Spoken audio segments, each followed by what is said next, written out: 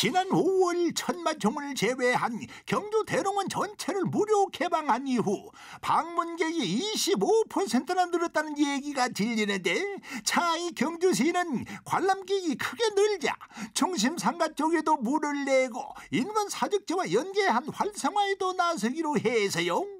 금창석 경주시 사적관리과장 에, 대릉원 개방 자체가 중심 상가 활성화를 위해서였습니다. 아, 그래서 동문도 내고 성문도 냈지 않습니까? 앞으로 중심 상가 거리하고 대릉원과 같이 그 북쪽 문을 문화재청과 협의해낼 예정입니다.